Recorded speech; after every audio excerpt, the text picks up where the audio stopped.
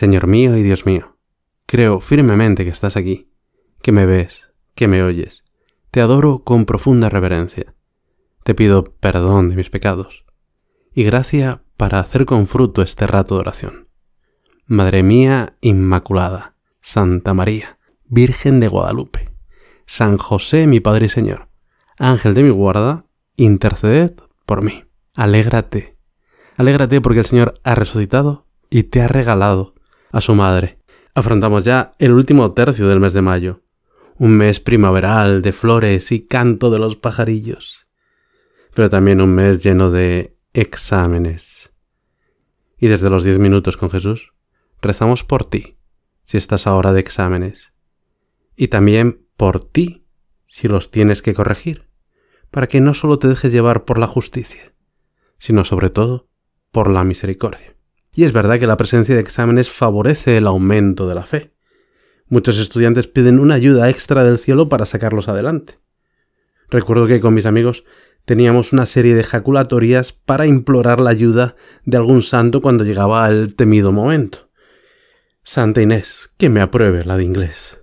San Agustín, que apruebe el latín.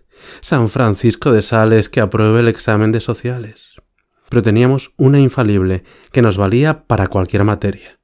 Virgen Santa, Virgen pura, que apruebe esta asignatura. Y es que, bromas aparte, tú, madre mía, eres la medianera de todas las gracias. Y durante este mes de mayo estamos contemplándote bajo distintas advocaciones con las que te venera el pueblo cristiano. Y la última vez que grabé estos diez minutos con Jesús, pues apenas me dio tiempo a hablar de una de las advocaciones de la Virgen más conocidas y queridas. Y me gustaría dedicarle un poco más de tiempo en estos diez minutos contigo, Jesús. Porque estar con María es estar siempre contigo. María siempre nos lleva a ti. Y me refiero, ya sabes, a la advocación de Santa María, Virgen de Guadalupe, también conocida como la Morenita. Y la verdad es que la imagen de la Virgen de Guadalupe es muy sorprendente por todos los misterios que encierra. El primero de ellos es que está pintada, bueno, si es que está pintada, sobre un ayate, una especie de manto hecho de fibra de magüey, que después de unos 20 años tendría que haber desaparecido, se tendría que haber descompuesto pero que ahí sigue, casi 500 años después. Además hay otros muchos misterios, como las figuras humanas microscópicas, que gracias a la fotografía se descubrieron en sus ojos, o, la ausencia de pigmentos para la pintura. Además de mensajes que sabrían interpretar muy bien los indígenas, el color azul verdoso del manto, que señala a María como la emperatriz, las estrellas del manto que, concuerdan con las constelaciones que se podían ver en el cielo de México a las 6.45 de la mañana del 12 de diciembre de 1531, día de la aparición.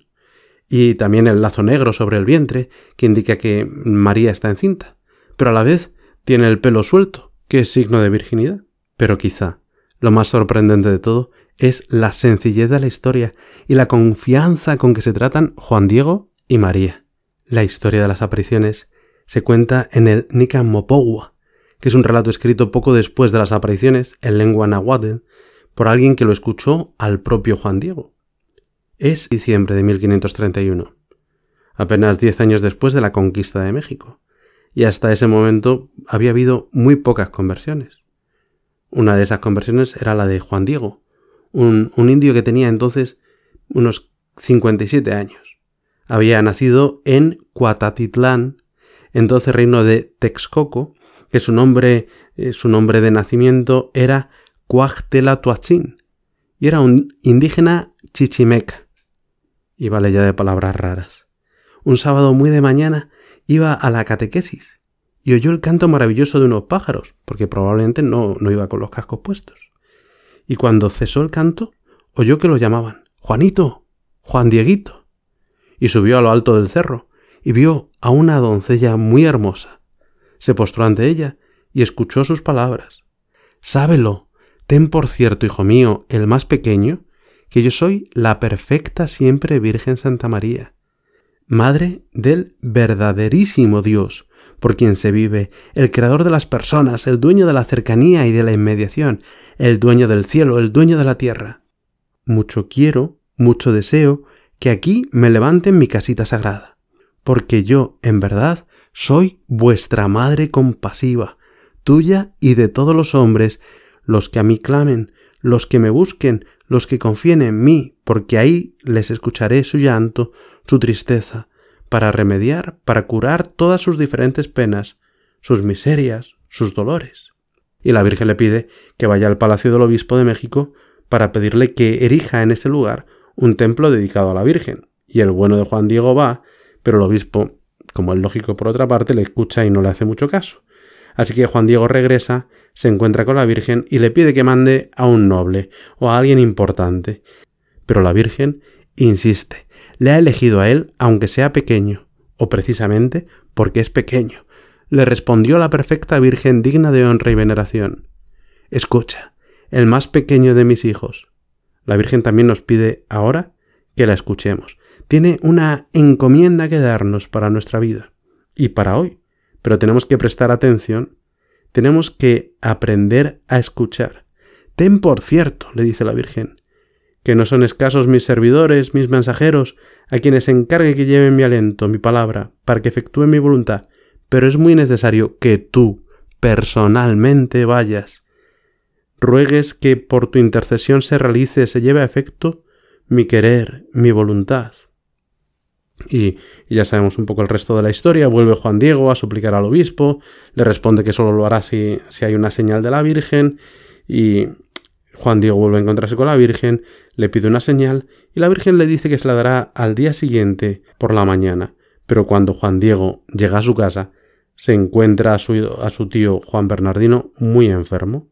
Busca un médico, pero el pobre tío tiene poco remedio, y le pide el tío que, que busque a un sacerdote para poder confesarse. Juan Diego sale muy de mañana, el 12 de diciembre, con prisa para buscar al sacerdote, y al llegar al cerrito para que la Virgen no lo entretenga, da un rodeo.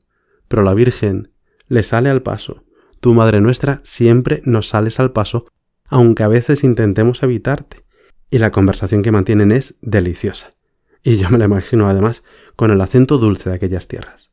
Le dice la Virgen, ¿qué pasa? El más pequeño de mis hijos. ¿A dónde vas? ¿A dónde te diriges? Y el pobre Juan Diego, un tanto apenado o quizá avergonzado, pues se, se muestra temeroso y se postra y la saluda. Y le dice, mi jovencita, hija mía, la más pequeña, niña mía, ojalá que estés contenta. ¿Cómo amaneciste? ¿Acaso sientes bien tu amado cuerpecito, señora mía, niña mía? Con pena angustiaré tu rostro, tu corazón. Te hago saber, muchachita mía, que está muy grave un servidor tuyo, tío mío. Una gran enfermedad se le ha sentado. Seguro que pronto va a morir de ella. Y ahora iré deprisa a tu casita de México a llamar a alguno de los amados de nuestro Señor, de nuestros sacerdotes. Te ruego me perdones, tenme todavía un poco de paciencia, porque con ello no te engaño, hija mía, la menor. Niña mía, mañana sin falta vendré a toda prisa. Y en cuanto oyó las razones de Juan Diego, le respondió la piadosa perfecta Virgen. Escucha, ponlo en tu corazón, hijo mío, el menor, que no es nada lo que te espantó, lo que te afligió, que no se perturbe tu rostro, tu corazón. No temas esta enfermedad ni ninguna otra cosa punzante, aflictiva. ¿No estoy aquí yo, que soy tu madre? ¿No estás bajo mi sombra y resguardo? ¿No soy la fuente de tu alegría? ¿No estás en el hueco de mi manto, en el cruce de mis brazos? ¿Tienes necesidad de alguna otra cosa? que ninguna otra cosa te aflija, te perturbe, que no te apriete con pena la enfermedad de tu tío, porque de ella no morirá por ahora. Ten por cierto, que ya está bueno. Y le pide que suba al cerro y que recoja unas flores que han florecido ahí en pleno diciembre, y pone las flores Juan Diego en su ayate y las lleva recogidas, y, se las lleva a la Virgen, que las toma en sus manos y las vuelve a dejar en el ayate, pidiéndole a Juan Diego que se las presente al obispo, pero que no abra el ayate ante nadie más. Y el bueno de Juan Diego llega otra vez ante el obispo y abre la tilma para enseñarle las flores, y cuenta el Nicamopaguo. Y al instante extendió su blanca tilma, en cuyo hueco había colocado las flores, y así como cayeron al suelo todas las variadas flores preciosas, luego allí se convirtió en señal, se apareció de repente la amada imagen de la perfecta Virgen Santa María, Madre de Dios, en la forma y figura en que ahora está, y en la que ahora sigue estando, 500 años después. Madre mía, en todas mis angustias, grandes o pequeñas, hazme escuchar una y otra vez tu voz llena de dulzura. No estoy aquí yo, que soy tu madre. Te doy gracias, Dios mío, por los buenos propósitos, afectos e inspiraciones que me has comunicado en esta meditación. Te pido ayuda para ponerlos por obra. Madre mía Inmaculada, San José mi Padre y Señor, Ángel de mi guarda, interceded por mí.